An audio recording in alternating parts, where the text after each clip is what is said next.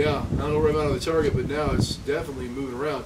You definitely have to work this. I mean, it's just not as simple as lining up and making it happen. Exactly. Every shot, you've got to work this thing. Because you still got the bounce of this, you got to worry about the wind effect, you've got to worry about where your bulb's going to be at. Yeah. I mean, this is, yeah, like you're saying, this is a tool to get you in the, in the field and hunting. This isn't going to do the job for you. That's for damn sure. You got to work with this thing. Yeah, because they're trying to make little adjustments. Here, yeah, let's Yeah. slow down the grain on the. Yeah.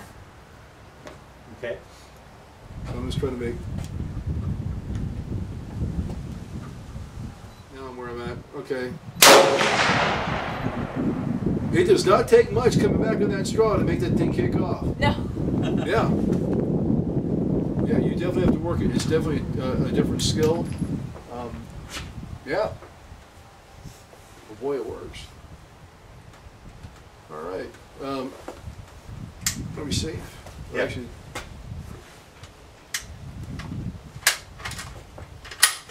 got it?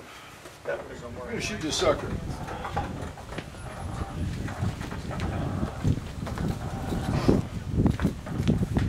that my side? That wi- that right there. See how it works? Yeah. I was waiting for somebody to shoot that spot right there and then bullets or shots on So we Well, have I don't to know make- if either one of them are like that anymore. I don't even know if we're actually hitting the target at this point, but the bottom one should be where you're at. And when you want to fire, you suck on that, you don't blow on And it. then, um, yeah. I am gonna go ahead and, oh yeah, bring the video monitor down. He is, um, uh, Army. Army. Army. Army. Army, okay, the right way. I can just see Oh, does US, say US? that's I it can see there. US. Yeah, I know, it's, I can't find the target.